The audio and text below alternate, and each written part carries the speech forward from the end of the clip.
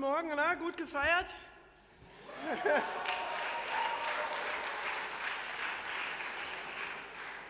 Genossinnen und Genossen, ich bin gerne hergekommen nach Dresden, denn eins hat die Jusos schon ausgezeichnet, als ich noch aktiv war. Wir haben im Gegensatz zur Jungen Union und zur jungen Liberalen nie Menschen, nie einzelne Gruppen in der Gesellschaft gegeneinander ausgespielt. Für uns, für uns geht es darum, auch bei der Rente nicht jung gegen alt, uns geht es um ein solidarisches Miteinander aller Generationen und für uns ist auch klar, auch die Enkel möchten, dass Oma und Opa gut geht. Und wisst ihr, das Problem bei den Konservativen und Liberalen ist, die denken immer nur im Wettbewerb, im Gegeneinander. Nach dem Motto, wenn es dem einen besser gehen soll, dann geht das nur, wenn man dem anderen was wegnimmt. Wir wissen aber, es geht nur zusammen. Zusammen sind wir stark, liebe Genossinnen und Genossen. Und wenn ich den Chimiak oder wie der heißt, dann in der Talkshow sehe und der dann die Frage von Solidarität zu einer technischen Lösung versaubeutelt, indem er einen Automatismus vorschlägt zwischen Rentenalter und Lebenserwartung, dann kann ich euch an der Stelle nur eins sagen. Es geht nicht darum, dass wir irgendwelche technischen Rechenschiebertricks machen. Ich glaube, dass der Junge in seinem Leben noch nichts geschafft hat und auch noch nicht mit Leuten geredet hat, die mit irgendjemandem geschafft haben.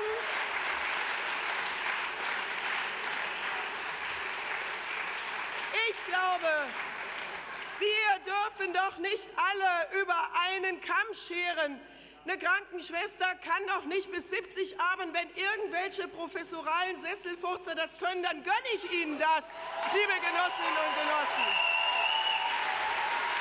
Kein Problem.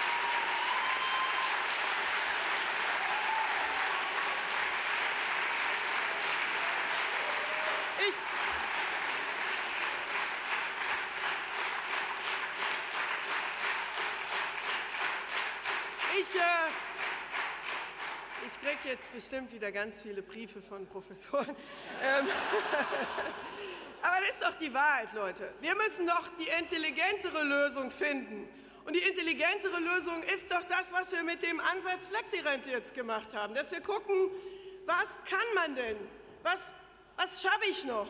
Und da ist es doch möglich, dass man sagt, ich gehe mal teilweise noch arbeiten, bin aber schon teilweise in Rente, dass wir einfach es individuell machen, dass wir sagen, das, was die Menschen wollen, muss im Mittelpunkt stehen, was sie können, was sie gesundheitlich schaffen. Und das ist unser Ansatz. Und deswegen bin ich auch sehr froh, dass wir an dem Punkt sehr einig sind. Und dann soll die junge Union doch damit von mir aus in den nächsten Monaten rumlaufen, ist doch gar kein Problem, Leute. Das gewinnen wir doch. Das ist doch ganz einfach. Das ist gar kein Problem.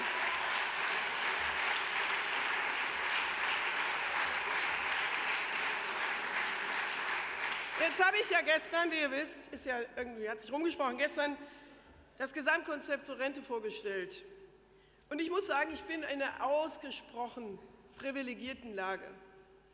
Und ich schätze mal, viele meiner Vorgänger im Amt hätten sich das gewünscht. Denn das Gesamtkonzept, was ich vorlegen konnte, enthält ausschließlich Verbesserungen gegenüber dem jetzigen Status quo. Und es ist nur deswegen möglich, liebe Genossinnen und Genossen, weil es eben darum geht, dass wir einen besseren Verteilungskompromiss, dabei geht es nämlich bei Rente immer, es geht um einen Verteilungskompromiss, dass wir einen besseren Verteilungskompromiss machen können.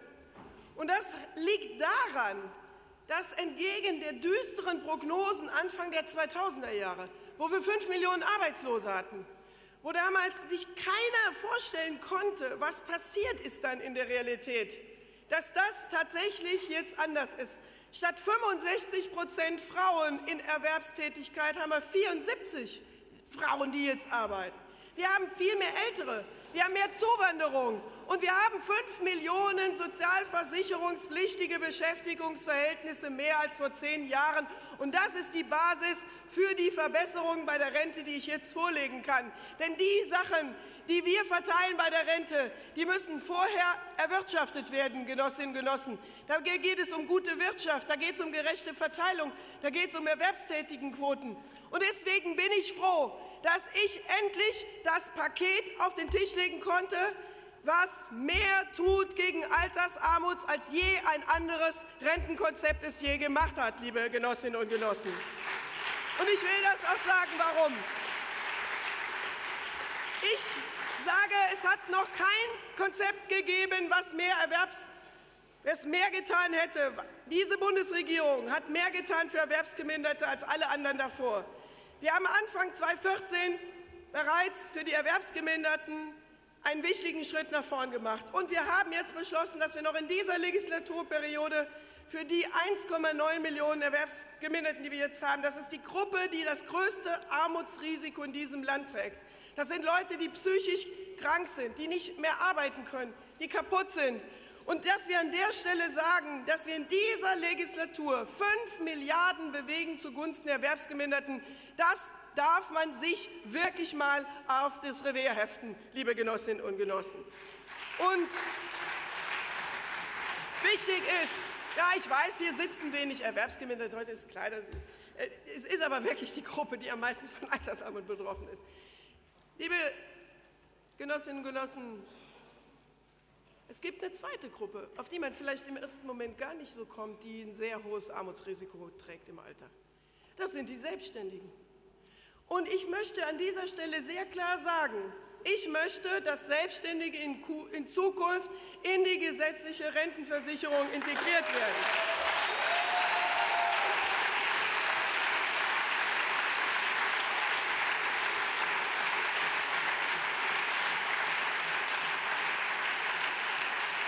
Und ich meine,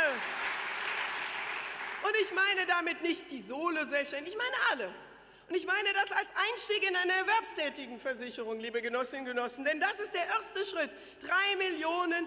Und wisst ihr sogar, was das Gute daran ist?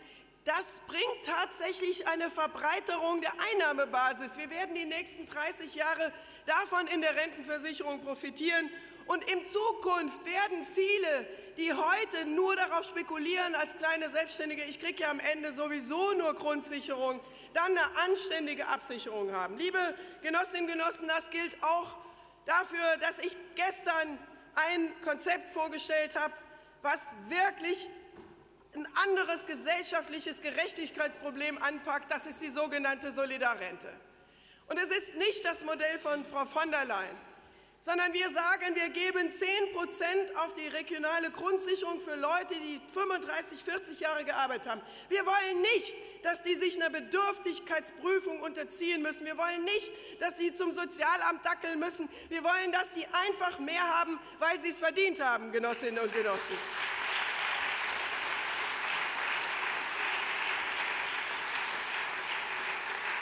Und im Gegensatz zu Frau von den früheren Konzepten werden davon auch wirklich Millionen profitieren. Es ist ja so, dass das so klein gekrächselt wurde, dass am Ende bei von der Leyen nur 60.000 Leute davon profitiert hätten. Ja, da kann man ja natürlich Gesetze für 60.000 machen, man kann aber auch bessere Gesetze machen, die Millionen von Menschen erreichen. Und das hier ist ein wesentliches Instrument, um Leuten die Angst zu nehmen, dass sie trotz jahrzehntelanger Arbeit im niedrigen Einkommensbereich am Ende doch nicht besser behandelt werden als all die Leute, die aus welchen Gründen auch immer nicht arbeiten konnten.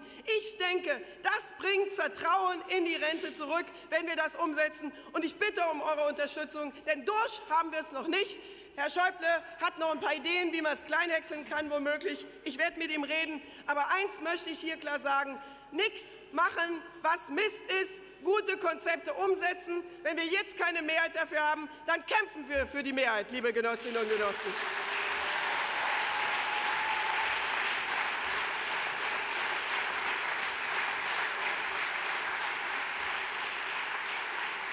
Naja, da gibt es natürlich auch noch die Gretchenfrage. Rentenniveau. Und ich sage euch an dieser Stelle, was mir heute auf dem Weg hierher, ich bin von Berlin jetzt mit dem Auto gekommen, mal wieder passiert. Ja, soll ich zu Fuß gehen? Hä? Also.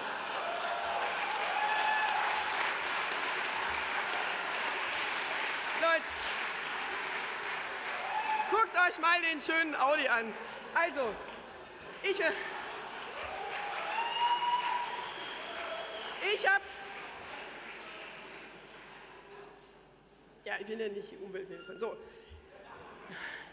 Seehofer. Ne? Seehofer hat sich heute Morgen geäußert, mein Freund Horst, ähm, und sagt,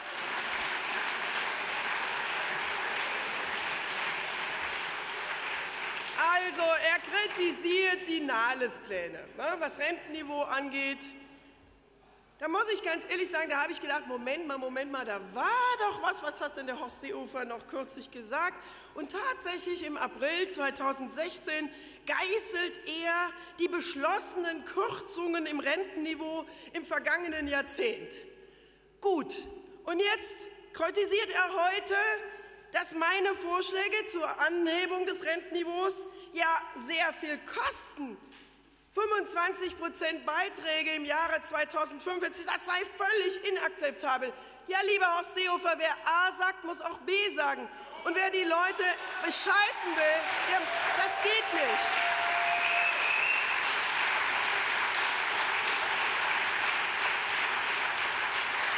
Es, es kann nicht sein, dass man immer das sagt, was die Leute hören wollen aber dann kneift, wenn es darum geht, das dann auch umzusetzen, handfest zu machen. Und ich, ich, ich lege doch kein Konzept vor, wo wir eine Anhebung des Rentenniveaus bis 2045 beschließen und sagen nicht, was es kostet. Was ist denn das für eine Art von Politik? Und es kostet. Wir müssen in dieser Gesellschaft darüber reden, was ist das uns wert, dass auch die junge Generation, und das will ich an dieser Stelle mal sagen, die ganzen Typen, die behaupten, wir würden Rentenpolitik machen gegen die Jungen, das ist nicht wahr.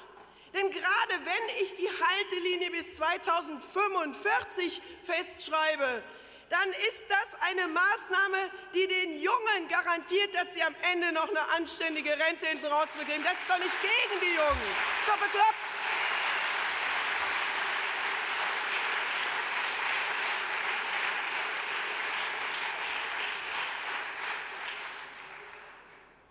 Aber die Rente ist keine Sache, die im Bundesministerium für Arbeit und Soziales sicher gemacht wird für die Zukunft, sondern einer der wesentlichen Voraussetzungen, um den, liebe Johanna, und das hat mich sehr gefreut, weil das auch ein Top-Thema meiner Zeit als Juso-Sitzende war, ist nämlich zum Beispiel Ausbildung.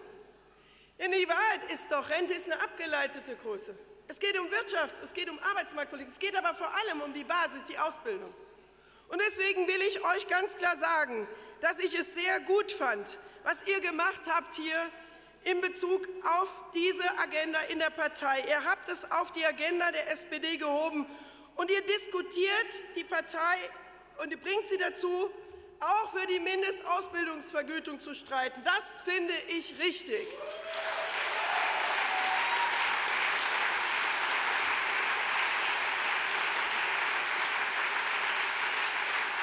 Und warum?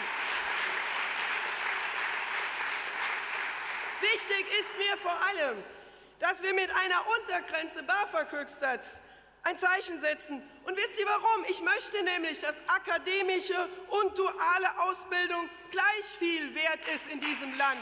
Darum muss es doch gehen.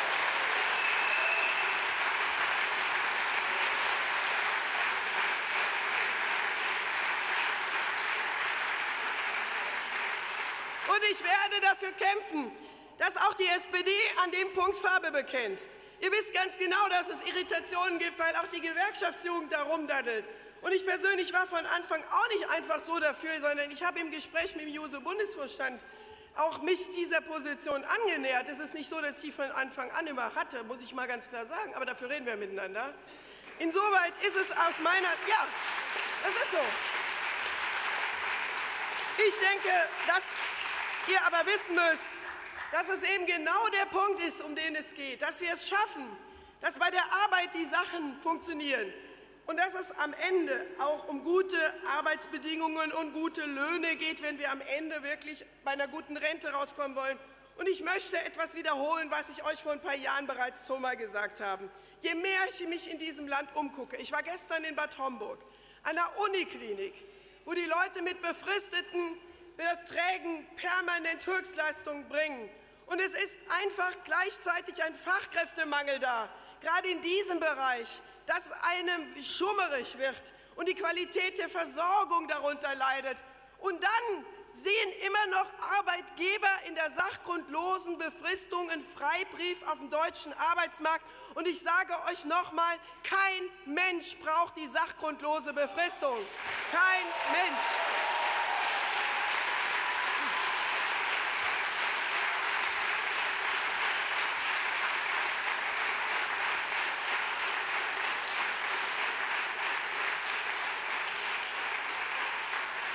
Und deshalb müssen wir an diesem Punkt in den nächsten Monaten auch deutlich machen, was das für junge Leute heißt. 50 Prozent der Verträge, die junge Leute bekommen, sind alle ohne weiteren tieferen Grund befristet.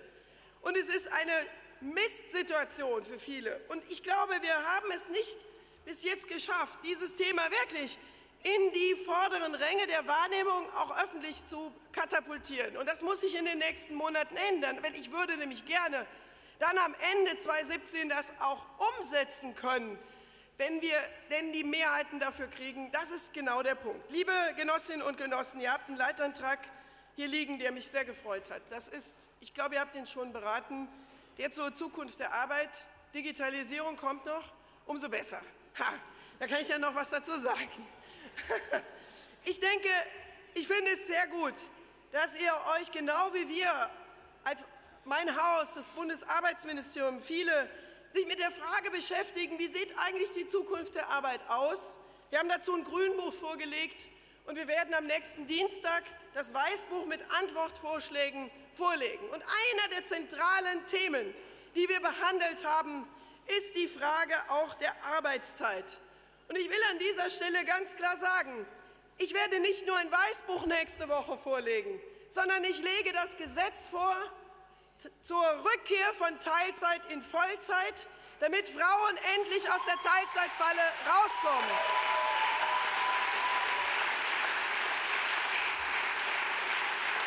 Und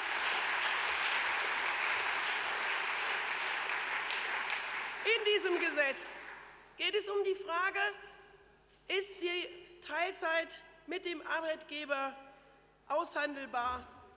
Und zwar so, dass sie passt in die Familie, in die Familie, in die Arbeitsberufswelt.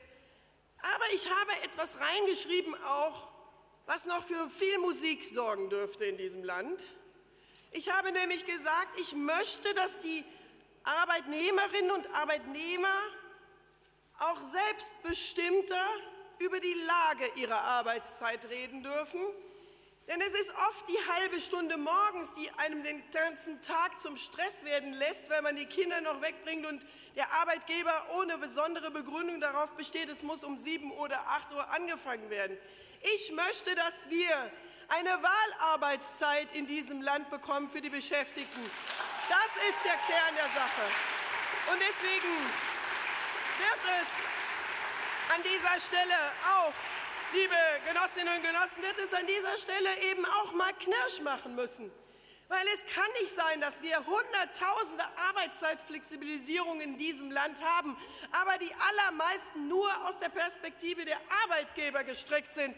Es muss auch mal die Arbeitnehmerperspektive ein eigenes Recht in diese Auseinandersetzung bekommen. Und darum geht es bei diesem Gesetz. Und dann habt ihr wahrscheinlich ja schon gehört, die Nahles macht da komische Sachen bei der Arbeitszeit. Ui, Experimentierräume. Was ist das?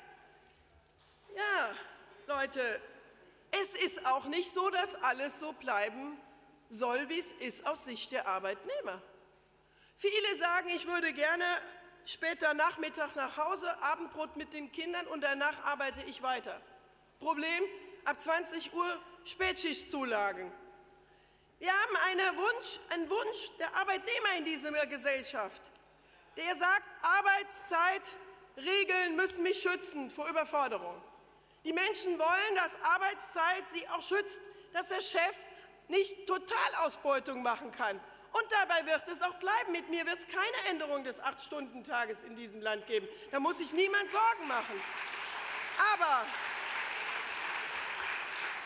aber auf der anderen Seite, Leute, gibt es, unterhaltet euch mal gerade mit den Jungen, unterhaltet euch mit denen in der Familienphase, gibt es sehr viele Wünsche, dass die Regeln nicht mehr so starr sind. Und deswegen haben wir gesagt, probieren wir es aus. Zwei Jahre, wissenschaftlich begleitet, auf der Basis von Tarifverträgen, also nicht wilder Westen. Und dann werden wir danach gucken, was können wir daraus für Lehren ziehen, auch auf der gesetzlichen Ebene, wenn überhaupt. Das kann sein, dass das ja überhaupt nicht der Fall ist. Ich jedenfalls möchte, dass ihr mitgeht auf diesem Weg, denn es ist nicht so, dass nur wenn man Arbeitszeit sagt, es sinnvoll ist, in den Schützengraben zu springen in diesem Land. Wir wollen, dass Deutschland ein innovatives, ein modernes Land bleibt, dass wir diese Digitalisierung auch als Chance für mehr Selbstbestimmung der Arbeitnehmer begreifen. Und das heißt für mich eben auch, dass wir versuchen, an dem Punkt einfach mit der Zeit zu gehen und gleichzeitig die Arbeitnehmerinnen und Arbeitnehmer auch in der digitalen Arbeitswelt zu schützen vor Überforderung, liebe Genossinnen und Genossen. Ja, ihr habt das schon gemerkt. In dieser Frage durchzieht euren ganzen Leitantrag, dass ihr euch nicht einig seid bei dem Thema. Das muss man klar sagen, ist typisch. Das beobachte ich überall. Wir haben eine Umfrage gemacht, Arbeitswelten. 50 Prozent der Arbeitnehmer sehen die Digitalisierung als Chance, die anderen als Bedrohung. Und wenn ich euren Leitantrag sehe, dann durchzieht dieser Leitantrag alle genau diese Sorgen, diese Abwägung. Und das muss ja für uns als Politik heißen. Wir müssen es hinkriegen, eine Balance zu organisieren zwischen den unterschiedlichen Interessen.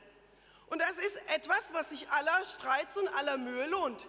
Ich kann nur eins ganz klar sagen. Die Digitalisierung ist da. Sie passiert. Wir können sie nicht verbieten. Wir müssen sie gestalten. Das ist der zentrale Punkt als Aufgabe einer sozialdemokratischen Partei in den nächsten 20 Jahren. Wenn wir da versagen, haben wir einen Kern unserer Aufgaben nicht gemacht, die wir machen müssen als Sozis, liebe Genossinnen und Genossen. Und deswegen werden wir auch, das ist das zweite große Thema in der Digitalisierung, neben der Frage Arbeitszeit, Qualifizierung, Weiterbildung. Und da bin ich sehr froh, da habt ihr nämlich die richtige Spur bei euch im Leitantrag. Wir wollen einen Rechtsanspruch auf Weiterbildung und zwar nicht nur auf dem Papier. Wir wollen jeden Arbeitnehmer mit einem Weiterbildungsguthaben ausstatten. Und wenn wir das machen, dann bekommen diejenigen, die niedrige Qualifikation haben, ein größeres Guthaben und diejenigen mit guter brauchen weniger. Wir müssen endlich dafür sorgen, dass diejenigen, die die Weiterbildung am dringendsten brauchen, sie in diesem Land auch realisieren können, liebe Genossinnen und Genossen. Und deswegen muss aus dieser Arbeitslosenversicherung eine Arbeitsversicherung werden, liebe Genossinnen und Genossen. Anders wird es nicht gehen. Ich bin heute nach Dresden gekommen und euer Bundeskongress ist ja nicht aus Zufall hier. So habe ich es jedenfalls verstanden. Gerade hier in Dresden macht auch euer Motto besonders viel Sinn, Farbe bekennen.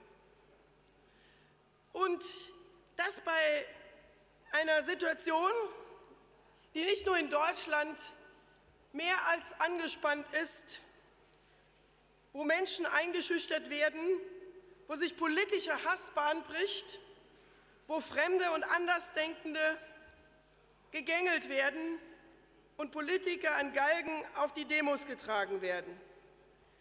Und was ist das eigentlich, was hier gerade passiert? Ich zitiere mal den sogenannten moderaten AfD-Vertreter Jörg Meuthen. Wir wollen, sagt er, weg vom links-rot-grün versifften 68er Deutschland und hin zu einem friedlichen, wehrhaften Nationalstaat.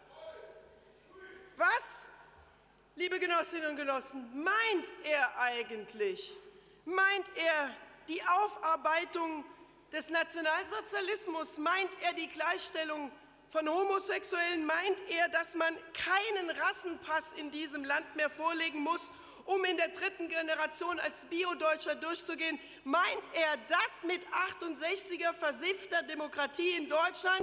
Ja, das meint der Kerl. Und er sagt es nur verklausuliert. Und das ist ein Angriff auf alles, was wir sind, was uns wertvoll ist. Das ist ein Angriff auf unsere Demokratie. Und dagegen wehren wir uns. Das lassen wir nicht zu, liebe Genossinnen und Genossen.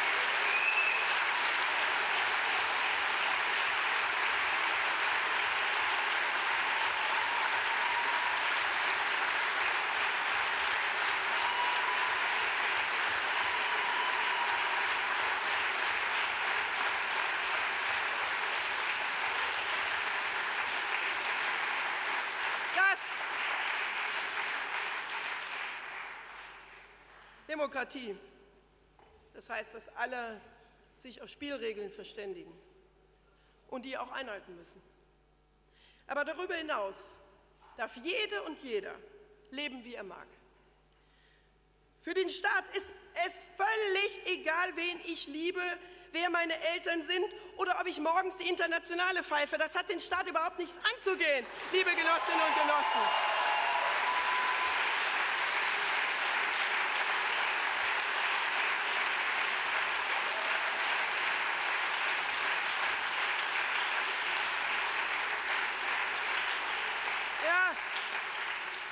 Wird ja jetzt geredet schon viel über Wahlkampf. Viele reden, dass jetzt der Wahlkampf kommt. Und das ist ja auch so. Im nächsten Jahr gibt es Landtagswahlen, Bundestagswahlen. Aber es geht in den nächsten Jahr eben nicht um Wahlkampf, es geht um mehr. Es geht darum, unsere Demokratie zu verteidigen. Liebe Johanna, warum bist du in die Politik gegangen? Ja. Oder Erik. Oder Frederik. Nein. Ich frage euch, ich werde oft gefragt, Genossinnen und Genossen, warum sind Sie in die Politik gegangen? Und ich sage dann oft, ja, ich wollte bei mir im Dorf einen Jugendraum gründen und die CDU wollte nicht und sowas beantworte ich. Aber ganz im Ernst, Leute, wenn man mal ein bisschen tiefer in sich reinguckt, das ist ja nicht der Grund, warum ich in die Politik reingegangen bin, sondern ich bin reingegangen, weil es Ungerechtigkeit gibt, die ich empfunden habe. Das waren vielleicht nicht die großen Sachen. Ich habe Anstoß genommen. Es war mir nicht egal.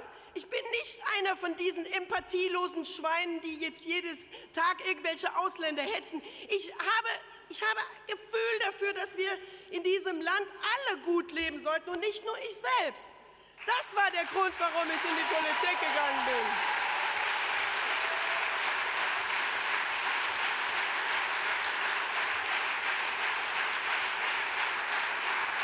Und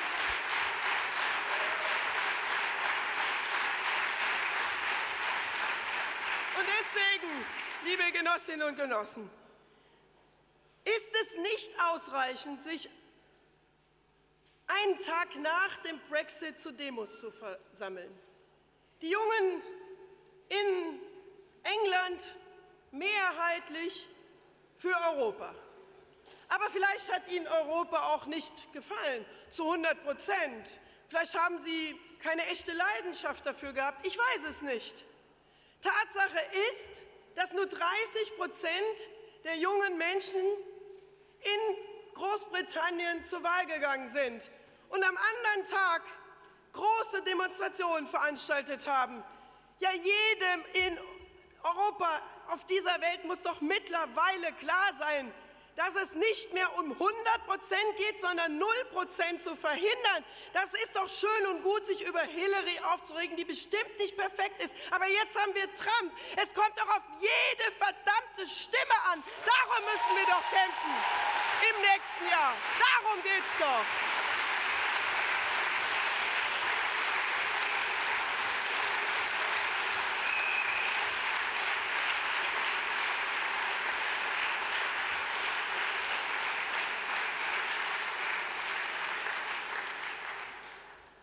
Ich habe hier gut reden, weil ich nicht jeden Tag hier in Dresden oder in Sachsen Politik mache. Deswegen möchte ich mich bedanken. Katharina Schenk, Stefan Engel, ihr seid hier das Bollwerk, ihr macht es, jeden Tag, jede Woche. Danke. Danke.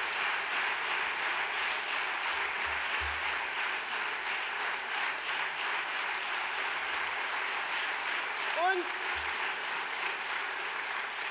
ich sage das ohne Ironie. Ihr seid für mich die Helden der Demokratie. Vielen Dank.